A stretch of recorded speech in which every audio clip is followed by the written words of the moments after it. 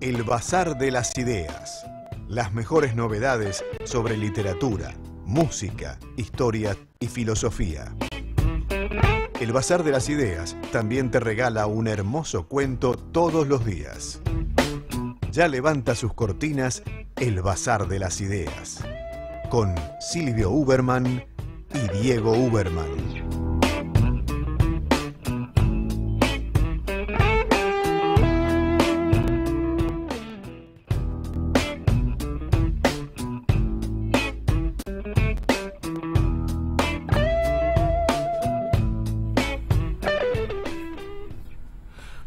Tardes, ¿cómo les va? 2 y 5 de una tarde muy linda. Linda porque es primaveral, porque está grato el día, porque está muy agradable. Linda también porque a los riverplatenses nos ha ido bien anoche en, eh, en Porto Alegre y entonces este, es, el sol salió dos veces. Una un poquito antes y otra cuando comenzaron a cantar los pajaritos bien temprano en la mañana. Ahora falta la buena. ¿Contra quién jugará River? Contra Boca, espero, o contra Palmeiras, vamos a ver. Con quien sea, serán bienvenidos y serán dos partidos de esos que van a terminar de conmover a la afición futbolística de la Argentina y de muchos otros lugares del mundo donde viven argentinos y donde se sigue el nuestro fútbol con, con cierto interés. Bueno, hoy tenemos un programa diferente porque hoy se cumplen eh, aniversarios interesantísimos, pero sobre todo es diferente porque alguien a quienes ustedes hace algunos meses han visto en la pantalla de Demos y del Bazar de las Ideas, transmitiendo directamente desde Tel Aviv, hoy transmite directamente desde Buenos Aires. Daniel Blumenthal, que es corresponsal en Oriente Medio, que es un amigo muy querido y que en aquella oportunidad fue uno de los primeros con quienes tomamos contacto a larga distancia. Concretamente fue el segundo, la primera fue la transmisión que hicimos desde el Museo del General San Martín en Granburg. Bueno, después eh, charlamos esa tarde con Daniel Blumenthal sobre temas del Medio Oriente y, cómo se ve el mundo y cómo se ve la situación de la humanidad desde ese lejano confín. Eh, bueno, hoy está de visita en Buenos Aires y ha tenido la enorme gentileza de aceptar nuestro, nuestro convite. ¿Cómo estás, Daniel? Bien. Bienvenido. festejando y gozando de la primavera de Buenos Aires. bueno, vos venís de mucho calor, ¿no?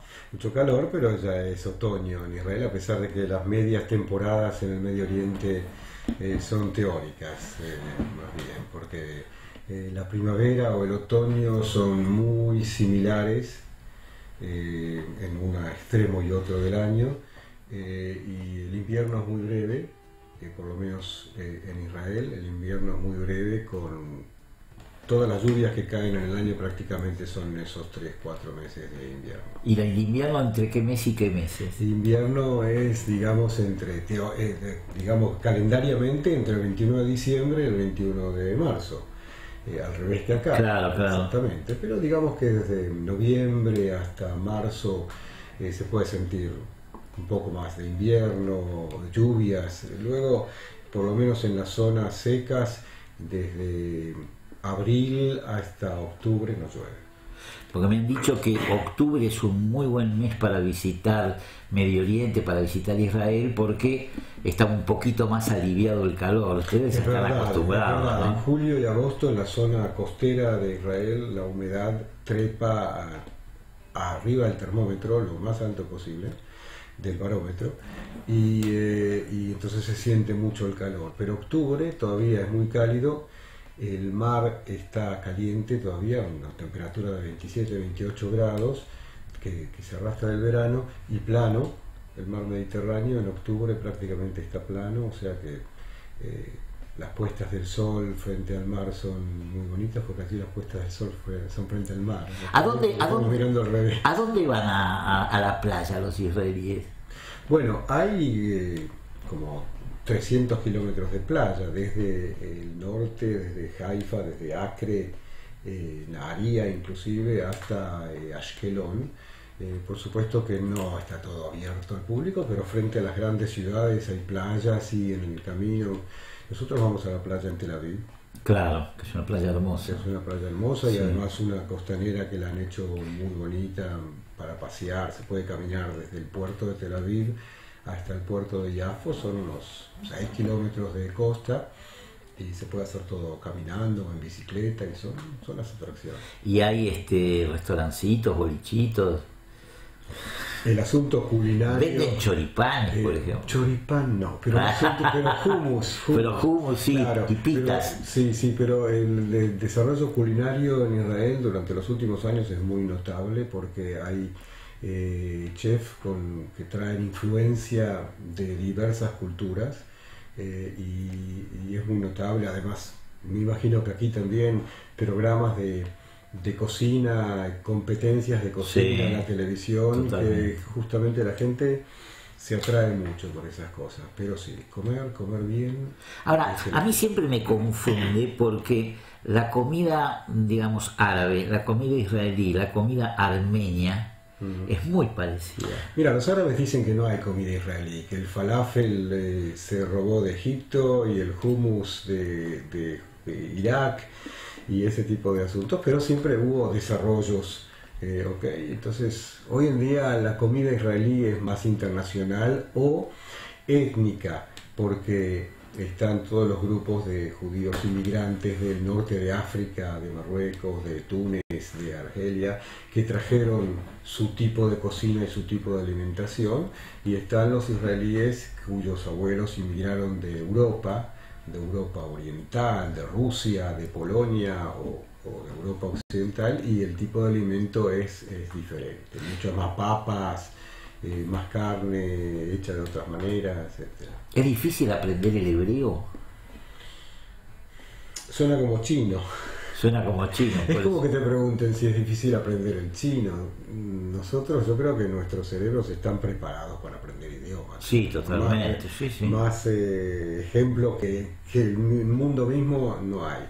Eh, se puede aprender el hebreo, hay que trabajarlo, es totalmente diferente, se escribe de derecha a izquierda, las letras son totalmente diferentes, son separadas, no se juntan en la, en la caligrafía las letras. Ah, no, no hacen un collar, sino que son... Una por una, sí. Ajá. Y eh, no hay eh, vocales, los vocales son... eh, hay que saber dónde poner la vocal, pero no se puede escribir una vocal. ¿Ok?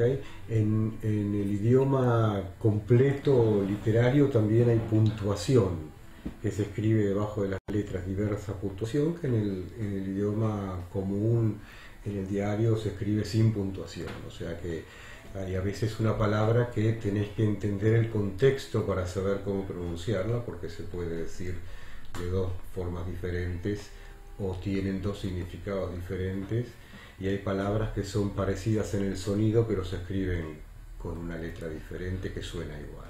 Vos recordarás que la ley 1420 de enseñanza laica, obligatoria, común, etcétera, bueno, nació en la Argentina en 1880 bajo la presidencia de Roca, pero vino fogoneada por Sarmiento Claro. y por sus antecesores.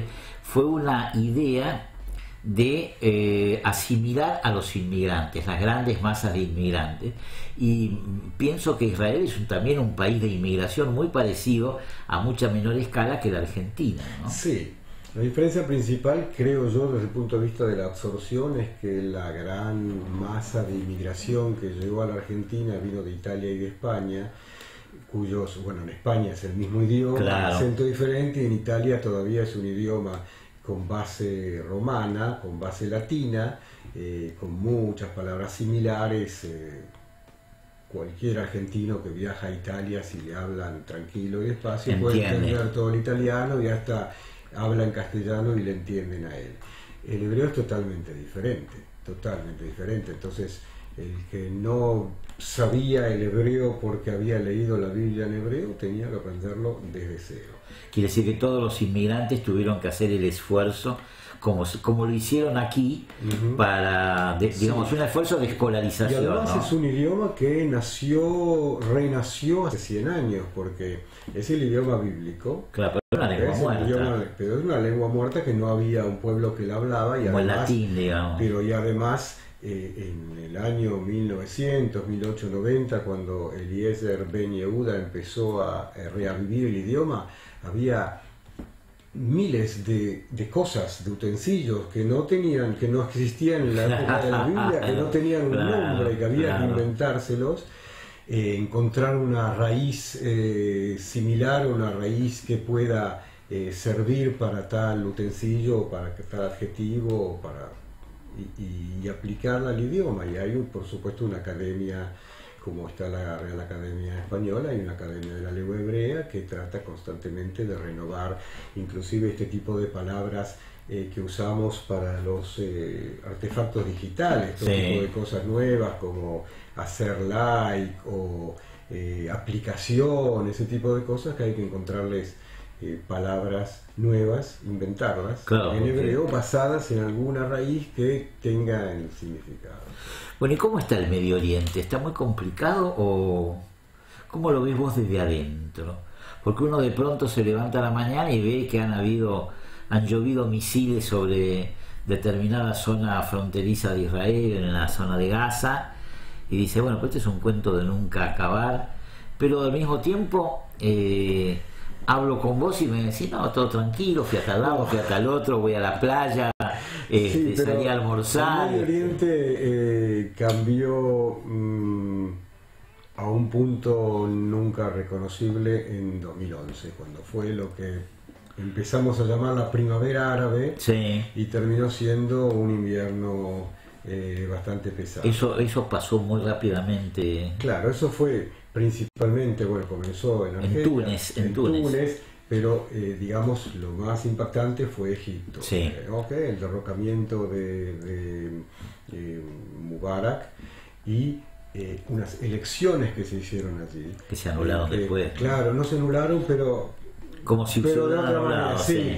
Elecciones que, en que ganó la hermandad musulmana, que son, digamos, los musulmanes religiosos que querían imponer de alguna manera la Sharia, la ley eh, musulmana, en un país que si bien no era una tradición democrática, porque las democracias son diferentes y hoy en día están cambiando mucho más, tenemos ejemplos eh, cercanos que hablan en portugués, pero eh, en esa Egipto, por ejemplo, o los países árabes que tenían un parlamento y un gobierno electo y qué sé yo, tampoco es es una democracia absolutamente abierta, o sea, pueden ser unipartidarias, ese tipo de cosas, pero eh, esta gente quería modificar el modus vivendi de los egipcios y entonces hubo una reacción. Dos años después los obligaron a, lo, bajaron en realidad, hicieron otras elecciones y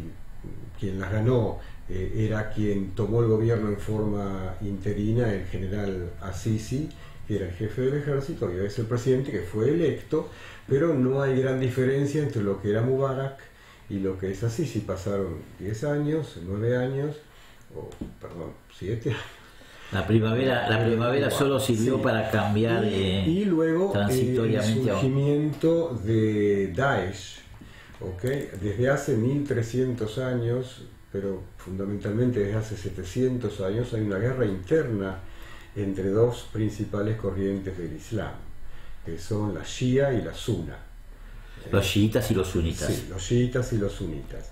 Los sunitas son los que siguen al profeta Mahoma y los chiitas, eh, 500 años, 600 años después, hubo una decisión entre los descendientes de Mahoma, no entremos ahora en toda la historia, pero son enemigos. Y lo mismo ocurrió entonces en, Siria, por ejemplo, los presidentes Assad, Hafez Assad, el padre, y Bashar Assad, el hijo, el, actual presidente, eh, son de una corriente alawita, que es una pequeña corriente del Islam. Igual que, el trono jordano, ¿no? No, el trono jordano son hashemitas. Hashemitas. Sí. Pero los alawitas son más cercanos a los chiitas que a los sunitas y eran una minoría en Siria y controlaban el país 40, 50 años. Chiitas son, por ejemplo, los ayatolas iraníes. Exacto, exacto. Los iraníes. ¿Y sunitas?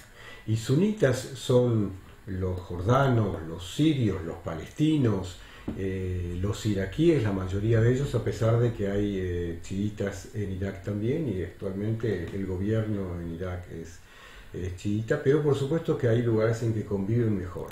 Pero cuando surgió eh, Daesh, Estado Islámico, y su aspiración ideológica y luego física de crear un Estado Islámico, eh, comenzó toda esa guerra tan dura y la exportación de esa guerra con inmigrantes a Europa.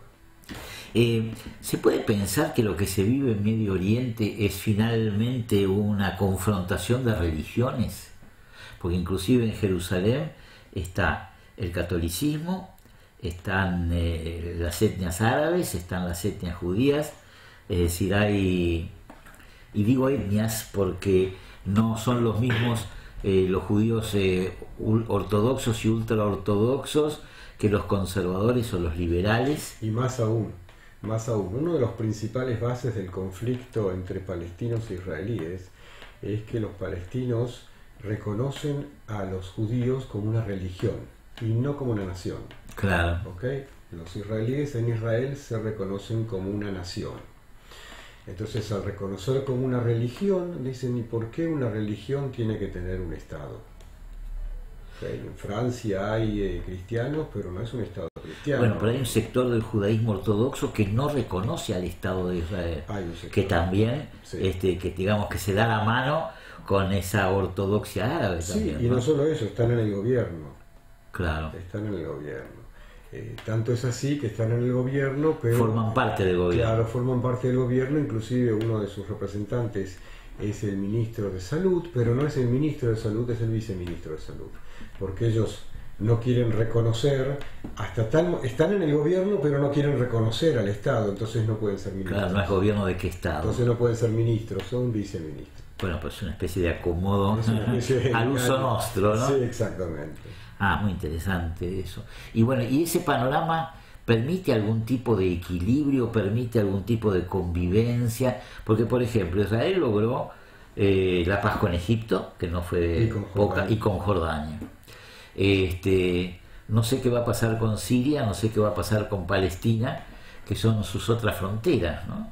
Bueno, mira, Palestina... Eh es una, es una lucha de 100 años en nacionales que durante los últimos, durante la última generación también se convirtió en una lucha religiosa por conveniencia de las partes, eh, pero eh, es un, uno de los conflictos del Medio Oriente, es uno de ellos y no el máximo, no, no el más importante.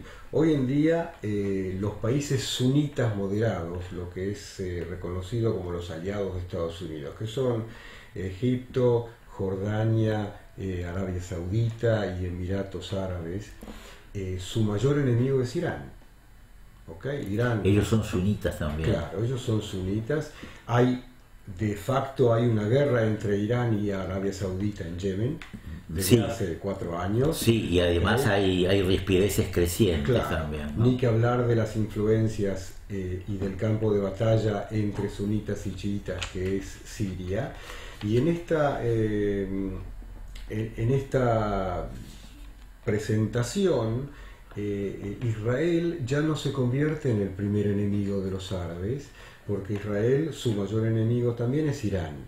Y el primer ministro Netanyahu ha actuado durante los últimos años de todas las formas posibles para tratar de contrarrestar el acuerdo internacional que se hizo con Irán para la no proliferación de armas atómicas, pero que le permiten un campo de acción muy grande y siguen construyendo misiles balísticos que pueden llevar, lanzar ojivas eh, nucleares.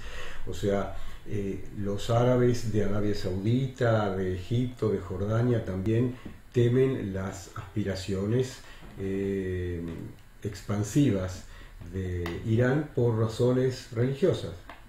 ¿okay? Entonces, sin entablar relaciones diplomáticas con Israel, eh, tienen mucha cooperación, inclusive de servicios de seguridad. Netanyahu y un par de ministros visitaron al sultán de Oman la semana pasada.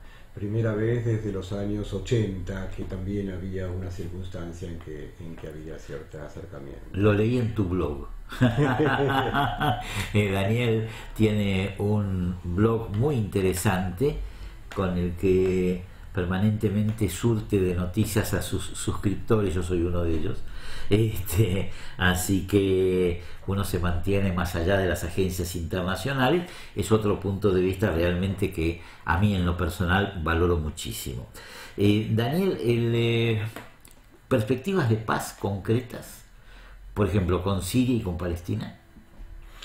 Con Siria mm, no va a haber paz desde el punto de vista de somos hermanos, somos amigos. Como con Egipto, como el auto desde Jerusalén y crucemos la frontera hasta ah. Turquía y hasta Grecia y, Europa. No, eso no se va a producir eh, por el más simple motivo que Israel aparentemente nunca va a devolver la meseta del Golán, porque si Siria es un país inestable, con el que, eh, el que hay una guerra civil como la que hay, como la que hubo, como la que está acabando con millones de refugiados y millones de, víctimas mortales y una destrucción total, ¿quién garantiza que una paz con un régimen en Siria eh, siga siendo paz con otro régimen en Siria si cambia? Eh, con los palestinos hay un gran conflicto ideológico interno israelí entre aquellos israelíes que consideran que es mejor ceder territorios, aquellos territorios conquistados en 1967, cederlos para la creación de un Estado palestino, aunque sea un Estado palestino controlado o desarmado, si los palestinos lo aceptan, por supuesto, y están otros israelíes que son, lamentablemente, para, en mi opinión, quienes tienen en estos momentos, en estos años, las riendas del poder, eh, que prefieren eh, la Israel unificada y el libre acceso al sitio en el que los patriarcas Abraham, e Isaac enterraron a sus, descendientes y a sus mujeres en Hebrón, por ejemplo, o la tumba de la matriarca Rachel, y están dispuestos a combatir toda intención de intercambiar esas tierras y esos territorios eh, a cambio de una paz. Y entonces el conflicto se convierte en que si el Estado de Israel se creó en 1949 como un hogar nacional para el pueblo judío, si eh, no se divide entre Israel y los palestinos, dos estados, a la larga por la eh, creciente, por el alto nivel de nacimiento que hay en Palestina entre árabes, etcétera, etcétera, y también por la cantidad que hay hoy entre Gaza, la Cisjordania e Israel, dentro de 15, 20 años, entre el río Jordán y el mar Mediterráneo va a haber el mismo número de árabes que de eh, israelíes judíos, entre ellos también árabes con ciudadanía israelí, con ciudadanía israelí, y entonces Israel va a tener que optar o por ser una democracia, y permitir que toda esa gente vote al Parlamento y entonces el Estado pierda la mayoría judía, o no ser una democracia y entonces ser visto y acusado por todo el mundo como un Estado de apartheid. Algunas preguntas. ¿El petróleo qué, qué papel juega en Medio Oriente? Cada vez menos, porque los estados consumidores van eh, creando eh, energías alternativas porque dependen mucho de las economías eh, de las economías internacionales y por eso no sube el precio del petróleo porque las amenazas árabes de, cortar el suministro y subir los precios ya no asustan porque no son reales, porque las economías árabes, principalmente la de Arabia Saudita, necesita la exportación y, eh, y el dinero entrante del petróleo y el resto de los países pueden reemplazar temporariamente. En Israel se encontró mucho gas, no petróleo, pero sí gas. Como Argentina, porque Argentina es un país con petróleo, pero gasífero. este, mientras que Israel parece que lo mismo. No tiene... Sí, se encontró gas en el mar, Sí. está siendo explotado, inclusive se está planificando una tubería a través de Chipre hasta Italia o Grecia para Ah, bueno. exportar el gas A Europa. a Europa y también hay acuerdos de venta de gas a Egipto. Ah, bueno, es- Sí, sí. quiere decir que ese es el es, es un tema, es un tema que digamos contribuye a la contribuye a la querella de, de la zona o contribuye a, a, a la estabilidad y a la riqueza de la zona. ¿Quién eh, fue el que dijo que el dinero no tiene no tiene color ni Sí, olor? Sisípido, este, el odor y Sí, el olor. no sí. tiene color ni olor, entonces negocios hacen todos. Bien. Otra cosa, ¿y Rusia qué papel juega? Rusia eh, tomó prácticamente el control de Siria, eh, principalmente ante eh, el abandono de Estados Unidos de, de esa zona, el interés en esa zona. Eh, Rusia tiene, como se dice, boots on the ground, tiene soldados en el territorio, tiene bases aéreas, tiene una base marítima en la Taquía, en Siria. Eh, Es un actor importante en la guerra civil. ¿no? es un actor importante en la guerra civil, no solo con el suministro de armas, municiones y dinero, sino también apretando los botones de las bombas y lanzando bombas desde aviones, eh, en muchos casos en situaciones muy crueles contra ciudad- ciu- ciudadanía civil. Eh, Israel también lleva a cabo ataques aéreos en Siria, muchas veces no los reconoce, otras veces sí Contra bases iraníes. contra ¿no? bases iraníes o contra la transferencia de municiones de Irán a través de Siria a Hezbollah en Líbano o contra eh, los esfuerzos iraníes de mm, basarse en Siria. Y entonces hay una coordinación militar entre los ejércitos de Israel y de Rusia porque sobrevuelan el territorio sirio para que no se produzca un choque entre Israel y Rusia. Bien, pero hay relaciones cordiales, me parece, inclusive a nivel personal, entre el primer ministro Netanyahu y Putin, Vladimir Putin, Eh, sí, sin duda. Porque inclusive tienen línea roja y tienen este vuelos directos. Sí, pero por supuesto que con toda la simpatía que pueda haber entre estos dirigentes y los contactos personales, cada uno responde a los intereses de su país, de su partido, de sus, a, sus intereses y tratan de manejar lo mejor posible para ambos la situación, pero siempre que haya una disputa, cada uno va a tratar de imponer su posición. Hubo, hubo, si no me equivoco, un millón de rusos que emigraron a Israel, ¿no es cierto? Sí, en los años 90, cuando se abrieron, digamos, las puertas de, Sí, sí, de la Unión Soviética. Sí, sí. Y ya, y ya están afincados, bueno, ya, Sí. ya son tres generaciones, Sin ¿no? duda, sin duda, sin duda. Pero eh, fue para muchos fue una situación muy difícil porque llegaron muchísimos profesionales, ingenieros, médicos, muchísimos músicos profesionales que no tenían trabajo. Primero que para oficiar la medicina de un país en otro tenés que hacer exámenes de revalidación. Claro. Primero tenés que entender el idioma, aunque puedas hacer en inglés, aunque te dejen hacer en ruso el examen, de todas maneras tenés que saber el idioma para después salir a, a trabajar. Lo mismo en ingeniería, en, en casi todas las profesiones.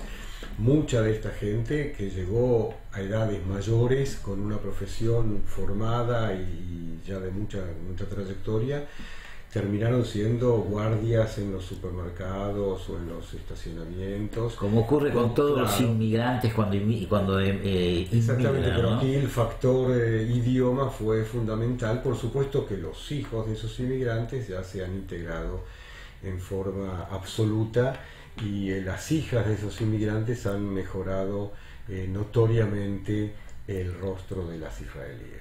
Bien. Eh, ¿Y qué pasa con China? ¿Cuál es la relación de China? ¿Cuál es el interés de China en el Medio Oriente? Estuvo el vicepresidente de Sí, China hace pocas ahora, horas, eh, sí. en Israel. Bueno, el interés de China en el Medio Oriente es el mismo que en todas partes, que en África, que en Que en América. Sudamérica, Es- Sudamérica. es, tienen una economía impresionante y una cantidad, un tercio, un cuarto de la población mundial eh, que tienen que alimentar y, promover. Y ellos eh, se meten en las, en las economías de todos los países. Yo creo que el interés chino es eh, guardar mercados. Bien. Eh, ¿Y Estados Unidos? porque hemos hablado de todos menos de un actor muy central en Medio Oriente como es Estados Unidos, tan o más central que Rusia. Es que mm, mm, daría la impresión que el Estados Unidos de Donald Trump no quiere ser central en Medio Oriente. Bueno, pero se ha trasladado su embajada se ha trasladado su embajada a Jerusalén, y, eh, y, el presidente Trump dice que tiene un plan maestro, un negocio lo llama, para solucionar, para hallar la paz entre israelíes y palestinos, que cada mes dice que lo presentarán sus eh, premisas el mes siguiente, todavía no hemos visto. Eh, hubo a lo largo de la historia negociaciones entre israelíes y palestinos. Bueno, las, de Oslo fueron las, últimas fueron entre el ex primer ministro Ehud Olmert y el actual presidente palestino Mahmoud Abbas. Antes Barak y antes Barak y Arafat. Pero en el 2009 entre Olmert y Abbas prácticamente llegaron a un acuerdo que podía incluir un acuerdo de paz. Podíamos ya estar en el primer diseño del acuerdo de paz solo que Eud Olmer estaba siendo investigado por eh, cuestiones eh, fraudulentas cuando era intendente de Jerusalén y debió abdicar al cargo primer ministro y no pudo seguir esas negociaciones. Le puede pasar lo mismo a Netanyahu, que está sujeto a procesos y con su familia también, la mujer, el hijo, la hija, no la sé. Hija. no, la esposa. La esposa, pero también hay un hijo, me parece. Hay un hijo, eh, y ahí Netanyahu, que vive con ellos, un chico de 27 años, que ahora nos contó que consiguió trabajo. Bueno. Que vive en la casa de... Acá también tuvimos un chico grande, este, hijo presidencial. Sí y que, tiene, no conseguía que tiene un Twitter y mm, sus dedos están constantemente ocupados en tuitear sí, eh, reacciones eh, en nombre de su padre, a veces eh, muy groseras. Ajá. Es el tuitero oficial del primer ministro. De la familia, sí. Netanyahu está siendo investigado por cuatro casos de corrupción, de soborno, de, deslealtad. Eh, es muy pesado eh, investigar y, presentar cargos contra un primer ministro en, oficio. Eh, el sistema judicial de Israel es muy cauto, mm, quizás se tome demasiado tiempo. Bueno, cuando hay un personaje así involucrado es, igual en todo el mundo, ¿no? Pero eh, la situación es que por ahora solo se habla de eso. El primer ministro ha sido interrogado e investigado ya 11 veces con la policía que llegó a la residencia. Eh, si lo quieren detener, ¿tienen que pedir algún tipo de desafuero, algo como aquí o no? Sí, yo no creo que sea necesario detener al primer ministro para durante un juicio porque dudoso que escape. Correcto. Sí, sería... ¿Y a dónde, no?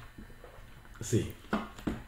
Eh, no, pero en algún momento se pueden presentar cargos contra él y la ley no eh, obliga a un político al que se le han presentado cargos, no le obliga a renunciar, porque de hecho, de hecho no lo ha hecho. No, porque teóricamente sí, eh, renunció antes de que se presente. ¿Pero porque estaba agobiado por la opinión pública o...? Estaba agobiado por la oposición y por su propio partido. Ah, correcto.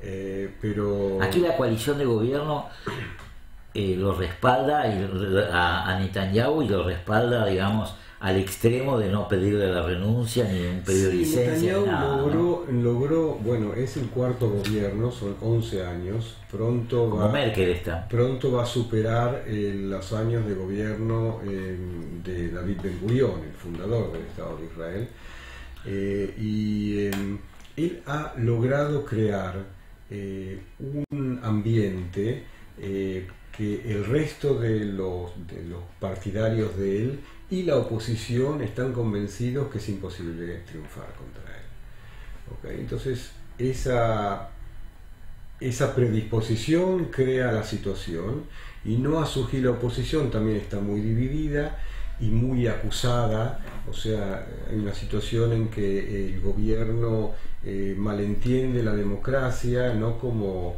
un gobierno de la mayoría con respeto de las minorías, sino un gobierno de la mayoría con repudio de las minorías. Entonces, todo están tratando de crear una situación en que el que no piensa como el establishment es un traidor. ¿Quién es el líder de la oposición? Bueno, en este momento... ¿Es una mujer? Sí, en este momento es Tzipi Livni, pero no, ella no es la presidenta del partido, es del Partido Laborista. El Partido Laborista está muy echado a menos y hay otro partido de centro, ¿no? Ella había estado en un partido que se llamaba Kadima, que creo que lo había fundado ella misma. O había no, lo había fundado ella junto con Ariel Sharon, que fue el primer ministro de Kadima, y luego Eud Olmert, que siguió a Sharon. Sharon eh, sufrió un derrame cerebral eh, durante su gobierno y Eud Olmert lo reemplazó y luego fue electo primer ministro, pero ese partido Kadima desapareció. Son ese tipo de partidos de centros que surgen, coaliciones que surgen porque hay un vacío, pero mm, desapareció el vacío porque lo está ocupando prácticamente el Likud. ¿Quiere decir que el laborismo vuelve a ser el, gran adversario del Likud? Mm, no, el laborismo no ha podido presentar un líder que arrastre eh, que arrastre, digamos, al público. Se reclama carisma también. Sí, se, requiere, sí. Bien. Bueno, te propongo una pausa, después seguimos charlando. Me parece que es muy rica esta conversación que estamos manteniendo con Daniel Blumenthal, que hoy nos está visitando aquí en Buenos Aires, en el Bazar de las Ideas y en Demos Radiovisual. Literatura, música, historia y filosofía en Demos. Silvio Uberman y Diego Uberman presentan El Bazar de las Ideas. De lunes a viernes, de 14 a 16, en Demos Radio Visual. Con la primavera